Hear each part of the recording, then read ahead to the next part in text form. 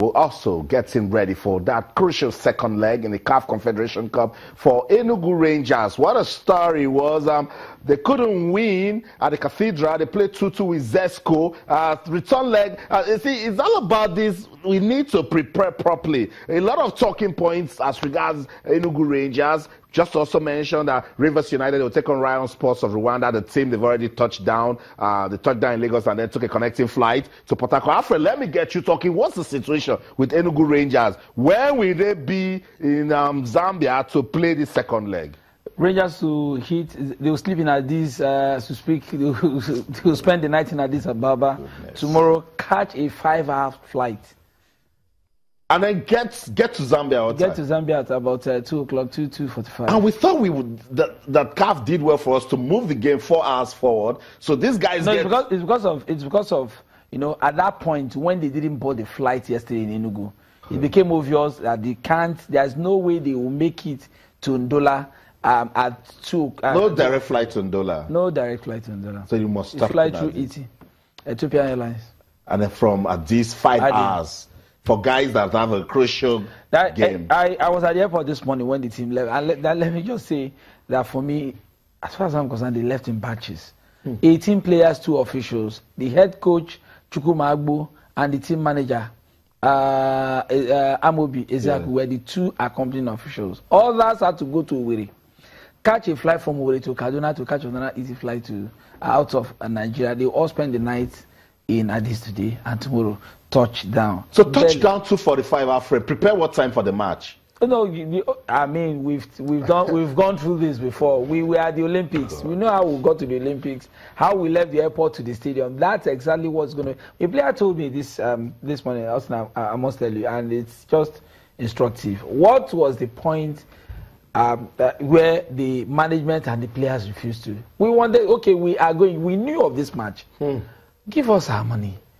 He said no. Particularly when you He know said, that- he said, no, the money is not available now, you know, but it's been signed and approved. You guys go when we come back. He said, okay, no problem. You can go and play. We went, we went boarding this flight and went back to the camp. It was at that point when the flight landed, it was at that point everybody, Austin, the money came out. Mm-hmm. Okay. The money came out. At that time, okay, now money available, no flight to go to. They now So- had to start making contingent. So the problem of Enugu Rangers is Enugu Rangers.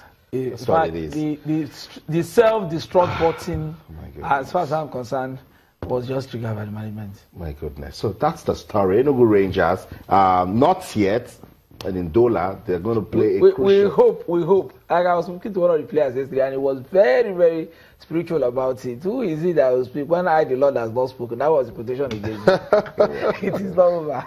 So, And we're just coming from that beach soccer uh, camp where um, Coach Aldu was saying that, look, we need a better preparation. Now, this one is does not, th- no federation is involved with this one. We're talking about the defending champions of the Nigeria Professional Football League.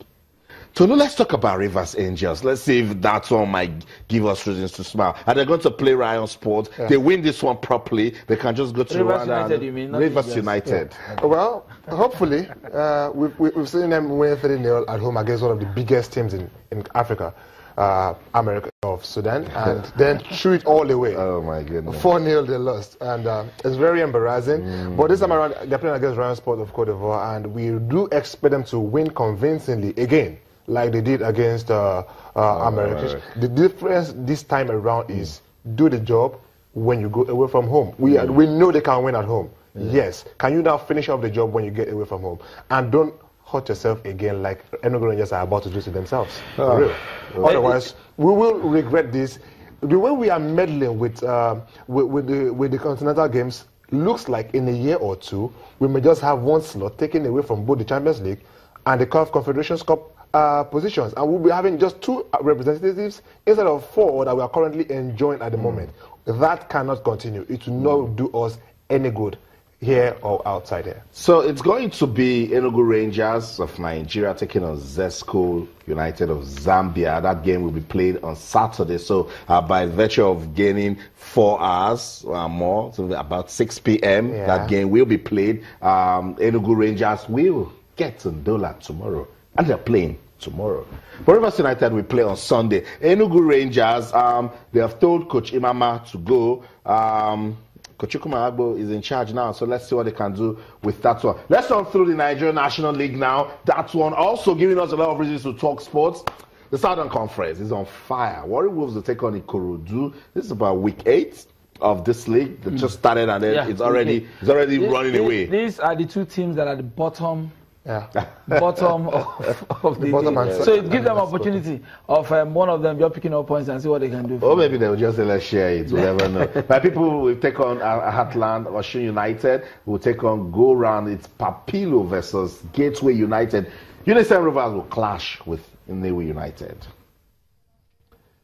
Abia Comets will take on First Bank. Akwa Starlets will play Delta Force. So that's that's an interesting matchup right there. Uh, let's see what Delta Force can do uh, at ICOM. And then AS Racine will play Crown FC of Ogbomoso and Bayelsa United. In form, Bayelsa United. Yet to lose again. Yet to Has lose to be again. said. Yeah, they're taking on Bendel Insurance. The Northern Conference, FC Abuja will take on Yobe Desert Stars.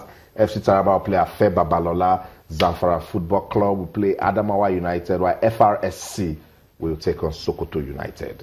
Jigawa Golden Stars will play Kwara United, and Kaduna United will play Kogi United. So it's a clash of the United. United. So, so, so that's it with um, the Nigerian National League. Alfred, just a word or two as regards the NNL before you leave. I think the, the NNL is uh, beginning to enjoy, you know, get into the football space, get people attention, get people talking. I mean, of course, if you look at the pedigree of teams playing the NNL, the likes of Heartland, the likes of Warri Warri Wolves, Wolves. these are traditional teams in Nigeria, Bayelsa United, and these are teams that have followership. They have people who really passionately uh, support them. They run into hard times one or two, but um, the NNL and the way they've organized the league now, giving it a face, and of course all of the branding hap- happening around it. I mean, it's the space is big enough. Just like uh, Zulu mentioned earlier, Yeah. Nigeria is a huge country. We have the resource and the people, especially the That's people, right. to That's really the markets so, right there. So the space is big enough. I think um, what LMC is enjoying, the NNL too is also having a piece of the cake. So, Lou, before I let you go, um, just imagine Bendel Insurance back in the mix. Oh, whoa! Wouldn't that be great to have the traditional teams back, and then you can imagine the kind of support uh, we'll get from Edo State. Just like it's, it's going to be exactly what happened with MFMFC and Ikorodu United being promoted to the NPFL last Lagos year, and alive. Lagos came alive. All of a sudden, Lagos looked that looked like never were, were Like they interested were not the league. interested with football. All of a sudden, we, we became such an interesting state. Uh, right. You know, so imagine that Bendel Insurance are back in the mix, and then. You can just imagine what it's going to mean for Let's everyone leave it from with Edo imagination. Just Thank- imagine. Thank you so much, Tolu, for coming around.